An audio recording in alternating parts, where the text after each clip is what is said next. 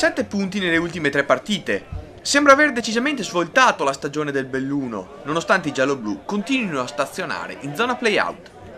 Stavolta il polisportivo non passa neppure il Campodarsego, bloccato su 2-2. Subito avanti i padroni di casa con il secondo gol consecutivo firmato Zigon.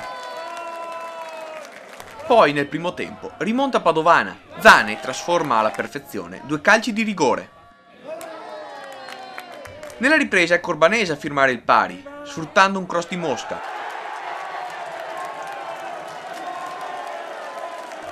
Poi più tardi, Masoc colpisce la traversa da fuori. Insomma, senza dubbio un pomeriggio positivo, considerando la forza degli avversari.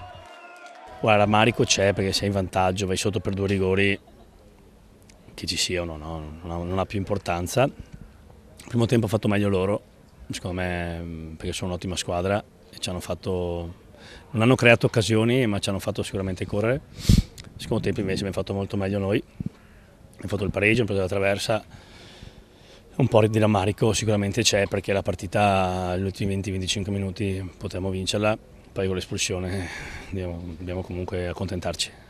È comunque un trend positivo, eh, sette punti in, eh, in tre gare, siamo sulla strada giusta.